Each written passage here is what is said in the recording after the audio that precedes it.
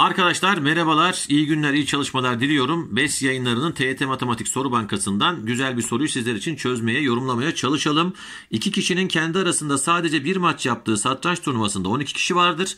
Bu turnuvada galibiyete 5 puan, beraberliğe 2 puan, mağlubiyete 0 puan veriliyor.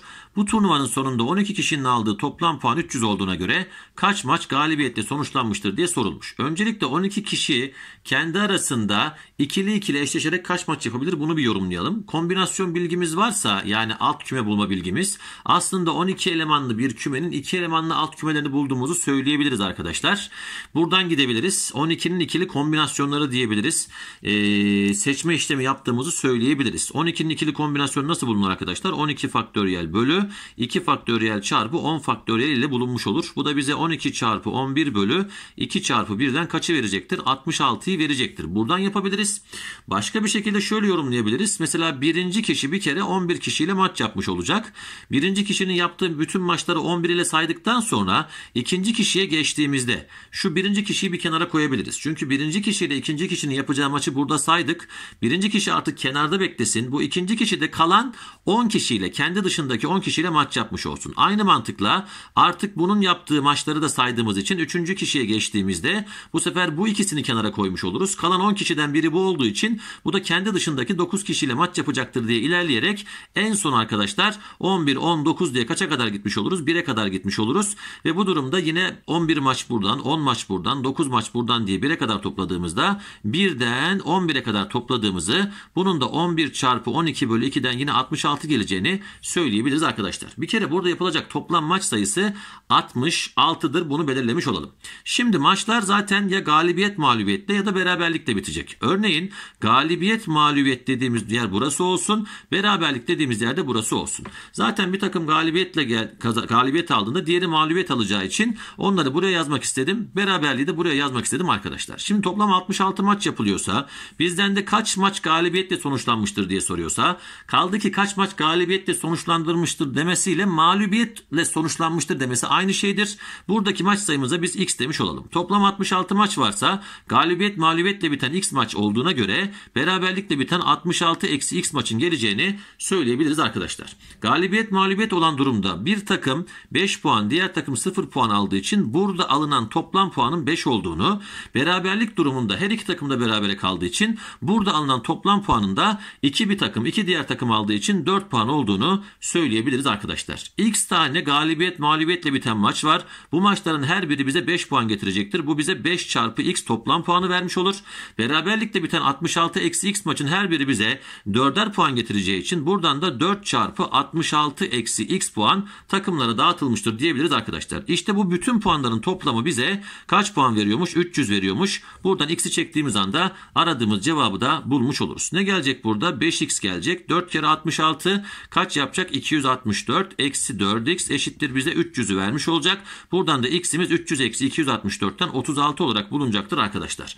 Burada bir mantıkta şöyle söyleyebiliriz. Şimdi doğru cevabımız 36 geldi bütün maçlar galibiyetle bitmiş olsaydı yani galibiyet mağlubiyetle bitmiş olsaydı o zaman her bir maçta toplam 5 puan dağıtılacaktı. 66 maç olduğu için 5 çarpı 66'dan 330 toplam puana ulaşılmış olacaktı arkadaşlar.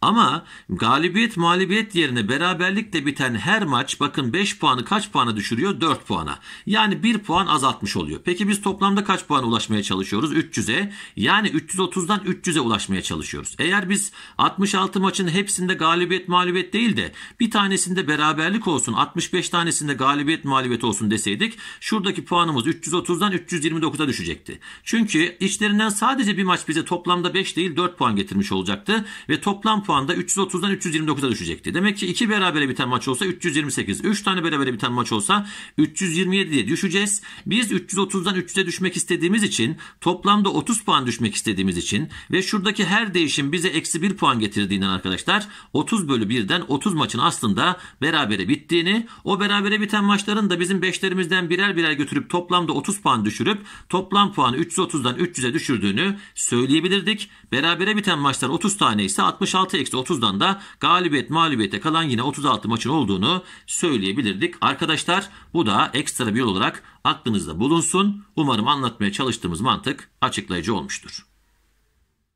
Arkadaşlar yine BES yayınlarından güzel bir sorumuz var. Bunu da yorumlamaya çalışalım. Aşağıda bir kabın içindeki su miktarına göre ağırlıkları kabın altına yazılmıştır. Buna göre boş kabın ağırlığının X ve Y türünden eşiti aşağıdakilerden hangisidir diye sorulmuş arkadaşlar. Dikkat ediyorsanız burada H'ye 3H'lik bir hacim paylaşımı var. Burada da 2K'ye K'lik bir hacim paylaşımının geldiğini görüyoruz arkadaşlar. Farklı oranlardan da gidebilir ama ben şöyle yapalım diyorum. Burada 4H üzerinden bir paylaşım yapacağız. Burada da 3K üzerinden. İkisinde de hacim aynı olduğu için biz 4H'lik hacmin 3K'lik hacme eşit olduğunu biliyoruz.